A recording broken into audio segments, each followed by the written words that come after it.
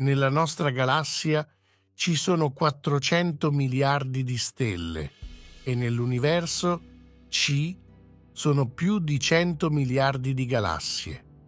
Pensare di essere unici è molto improbabile.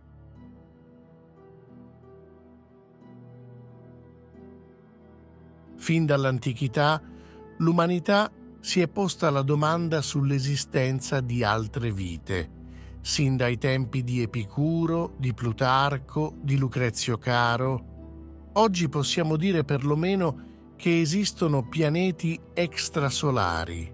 La loro esistenza è una condizione necessaria, anche se non sufficiente, per l'esistenza di altre forme di vita.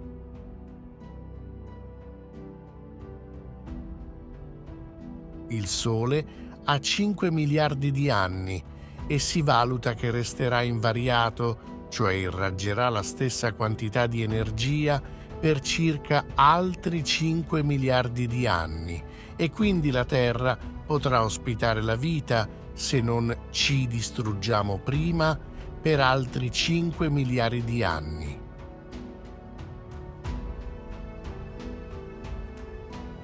l'idea di un Dio impersonale sarà più accettabile per la ragione, ma è pur sempre una scappatoia per spiegare quello che la scienza non sa ancora spiegare.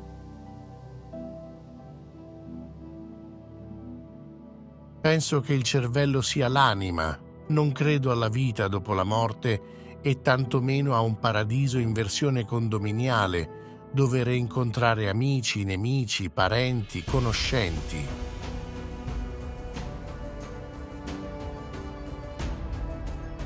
Anche essere atei come essere credenti è una fede perché io non posso dimostrare né che Dio c'è né che non c'è. Io non credo perché non mi soddisfa l'idea di Dio, non posso pretendere di dimostrare che Dio non c'è. A me sembra assurda l'idea di Dio perché mi sembra infantile, ma questa è un'opinione personale.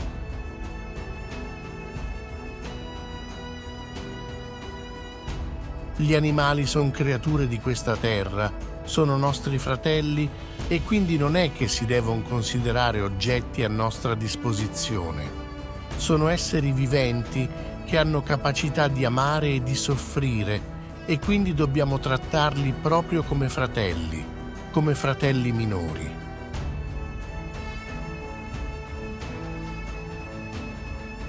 La Chiesa sembra ritenere che solo chi crede possieda un'etica, che non possa esistere un'etica laica o, ancor meno, un'etica atea.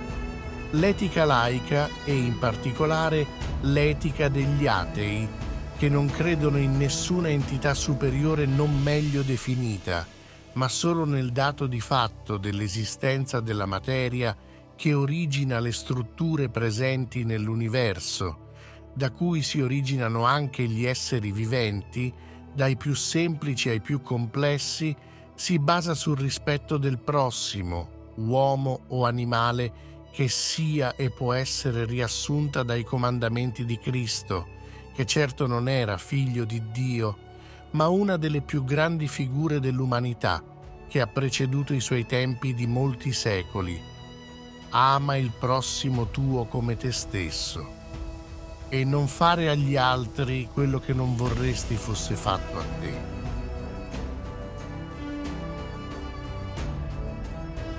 La spiritualità, per una come me che non crede in Dio, all'anima, all'aldilà, sta nella capacità di amare e comprendere gli altri, uomini e animali, di non fare agli altri quello che non vorresti fosse fatto a te.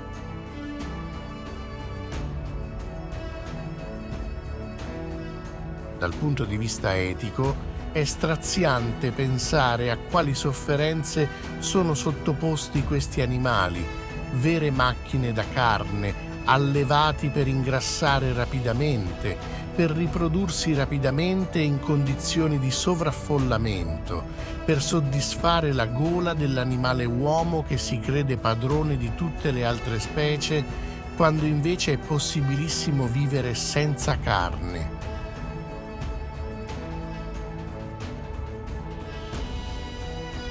La disobbedienza civile è necessaria quando le leggi sono contro la democrazia e la libertà.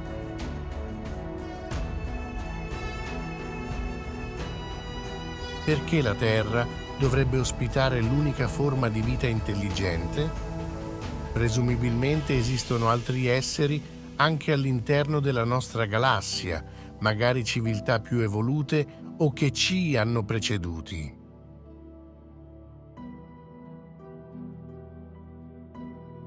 È assurdo pensare che non ci siano altre forme di vita all'interno della galassia, o si è credenti e si ritiene che la Terra sia stata creata apposta per l'essere umano, oppure si è atei e ci si affida alla ragione e al calcolo delle probabilità.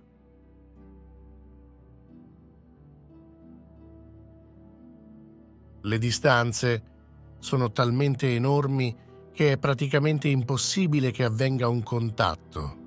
Bisognerebbe superare la velocità della luce.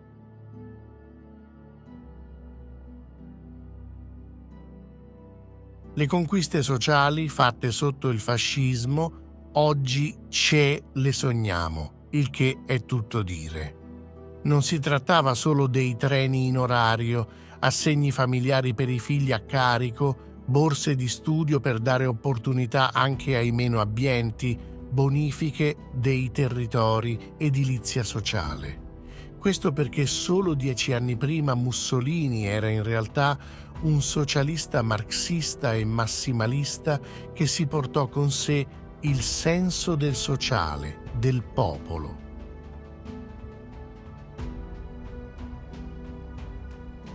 Il divertimento della ricerca scientifica è anche trovare sempre altre frontiere da superare, costruire mezzi più potenti di indagine, teorie più complesse, cercare sempre di progredire pur sapendo che probabilmente ci si avvicinerà sempre di più a comprendere la realtà, senza arrivare mai a capirla completamente.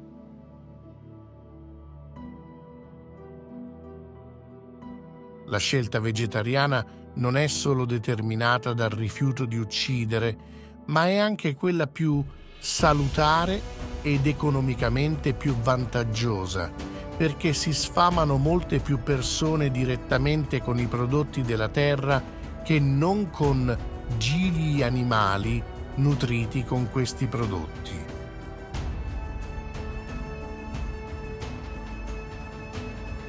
Tutta la materia di cui siamo fatti noi.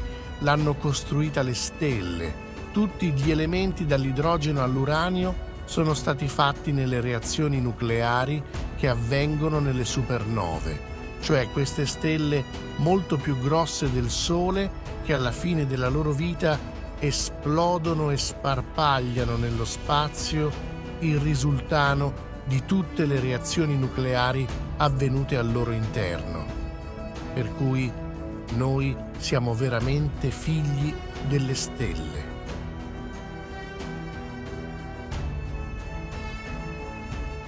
Nel nostro paese quando si deve tagliare si tagliano la cultura e la ricerca, ritenute evidentemente un inutile lusso.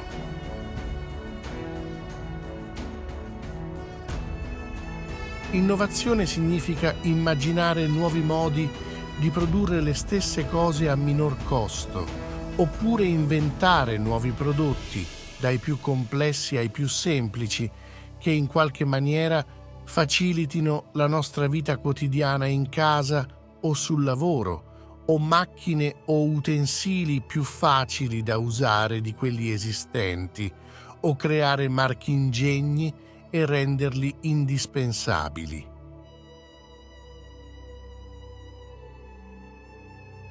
L'innovazione è frutto della tecnologia e la tecnologia è frutto della ricerca applicata, la quale a sua volta deriva dalla ricerca di base.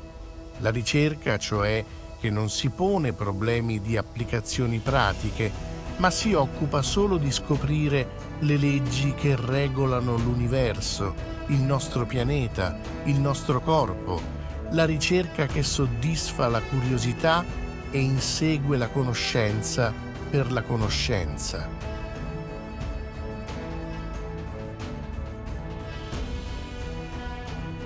Credo che uccidere qualsiasi creatura vivente sia un po' come uccidere noi stessi e non vedo differenze tra il dolore di un animale e quello di un essere umano.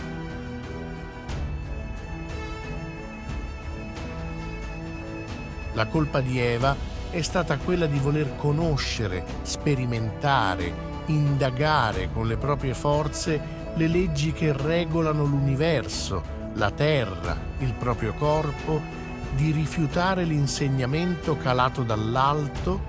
In una parola, Eva rappresenta la curiosità della scienza contro la passiva accettazione della fede.